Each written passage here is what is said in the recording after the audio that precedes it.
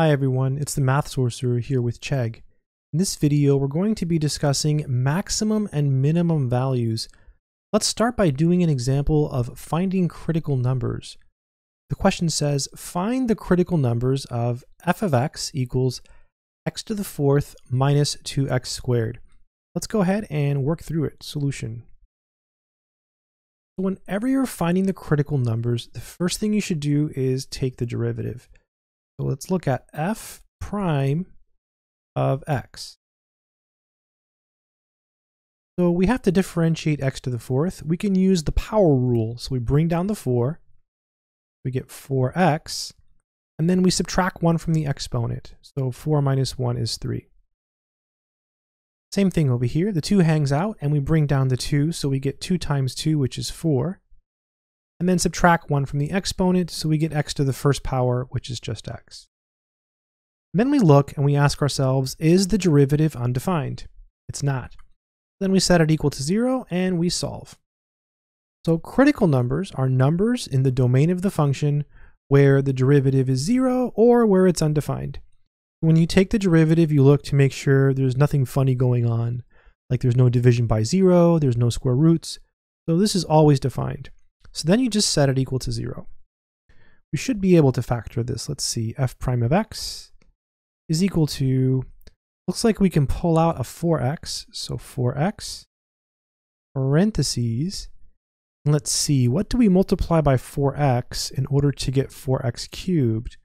Looks like x squared, because if you multiply 4x times x squared, you add the exponent on the x. 1 plus 2 is 3, so it looks good.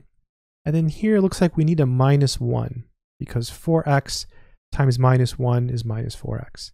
And this is equal to 0. So f prime of x, I'm just going to write it again. Why not? This is equal to 4x.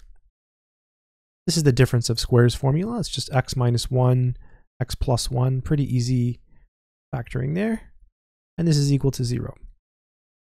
We have a product equal to 0, so we set each factor equal to 0. So 4x equals 0, or x minus 1 equals 0, or x plus 1 equals 0. And we can divide this one by 4. So we end up with x equals 0 here for our first critical number. And you should always check, can you take this number and plug it back into your function? You can, there's no issues. And then here we get x equals 1 and then we get x equals negative 1. And those are our critical numbers. So to find critical numbers, basically you take the derivative and set it equal to 0 and solve. Except you want to make sure that the answers you get actually make sense. Like, can you plug them back into your function? You can, right? Like, we're not dividing by 0. There's nothing funny going on. Also, you want to look for places where the derivative is undefined. In this particular example, no issues. Most of the time, it's like this. You take the derivative, you set it equal to 0, and you get your answers. It's just always good to be on the lookout for places where the derivative is undefined.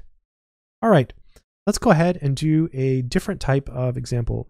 Okay, let me show you how to find the absolute extrema of a function over a closed interval. Let's jump into it right away. So solution, SOL means solution. So the first step in problems like this is to take the derivative of your function. So here we have f of x equals x squared minus 4x. The derivative is f prime of x. And it's a pretty simple derivative. We just use the power rule. So we bring the 2 down, put it in the front, and then subtract 1 from the exponent. We get a 1, which I won't write, minus, and then the derivative of 4x is just 4, because the derivative of x is 1. And we're basically looking for critical numbers. So as before, you take the derivative, you look at it, is it undefined? No, there's no issues, there's no fractions or funny stuff. So we set it equal to 0. This is pretty easy. We just add 4 to both sides. So 2x is equal to 4. And then we divide here both sides by 2. And that gives us x equals 2. Now again, we're looking for critical numbers, so we have to ask, is this in the domain of the original function? Well, in this particular problem, the domain has been restricted, right? The domain is the interval 0, comma 7. So is 2 between 0 and 7? Yes, it is, right? If it's not, then you reject it, okay? So for example, if we had gotten x equals negative 2, we would reject that as a possible critical number. So in this case, this is a critical number. Okay, good stuff. So again, step one when finding the absolute extrema is to find the critical numbers, and that's why I did that example earlier of finding critical numbers. Step two is you basically take your critical numbers and your endpoints here, 0 and 7, and you plug them all into your original function. So let's just do it. So we take the 0 and we plug it into the original. So f of 0 is equal to, we get 0 squared minus 4 times 0, which is just going to be 0. We can plug in the 7, so f of 7 is equal to 7 squared minus 4 times 7.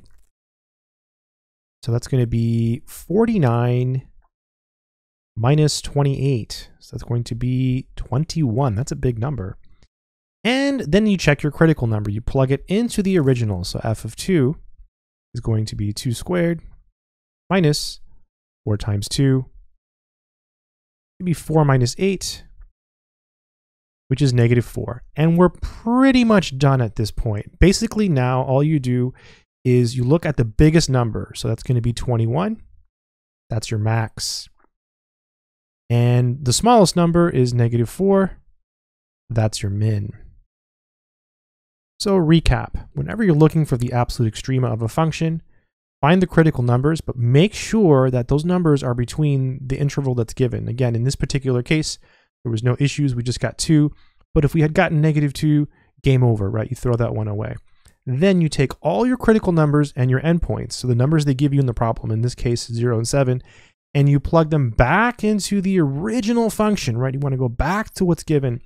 The biggest number is the max, the smallest is the min. Another word of caution, and this really just has to do with what textbook you're using. So a lot of textbooks will want the ordered pair.